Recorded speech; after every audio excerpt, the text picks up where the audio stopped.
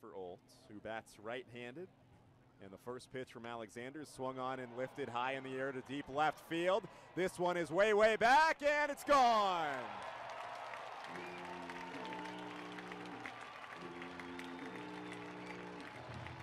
Ninth home run of the season for Mike Olt.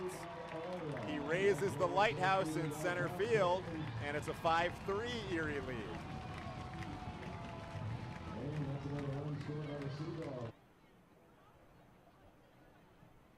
Next pitch. Swing and a high fly ball to left. Carrying Kazmarski's at the wall, looking up, it's gone. First home run in a Sea Dogs uniform for Mike Olt. And it puts Portland ahead two to one. And we expected Mike Olt, a veteran player, that here two outs. The Villegas brings it, swinging a ground ball up the middle of base hit. Mars around third, he's coming home.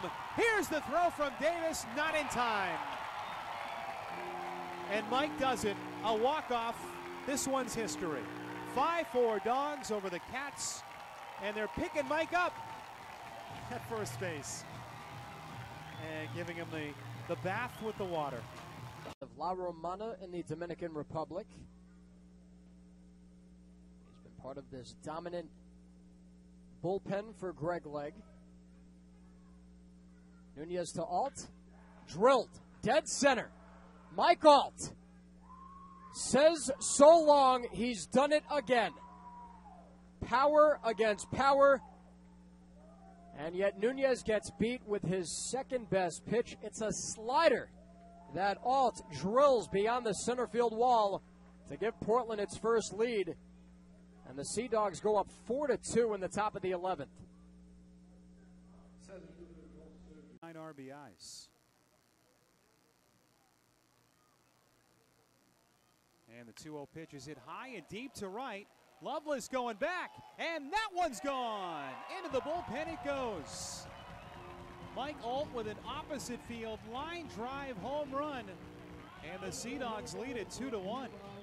That ball was creamed by Olds. Didn't take long at all to get out, right over the wall and off that indoor hitting cage. I mean, that was a quick home run. It's probably the deepest home run by a, a right-hander we've seen to right field this season off of the hitting cage, as you mentioned.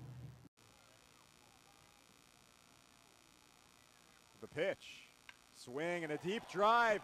Well hit to left center. This one is way back and gone!